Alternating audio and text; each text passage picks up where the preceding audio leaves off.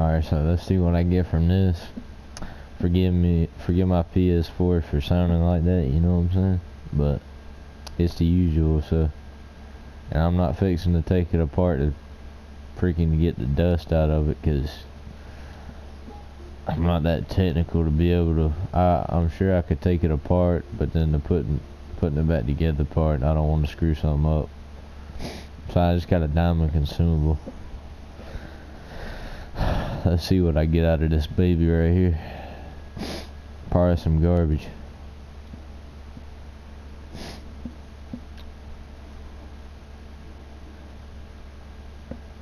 Eh. It's actually pretty good. It's got a little three point on it. I don't.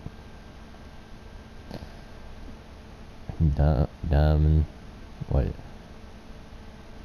Shoe. Jordan.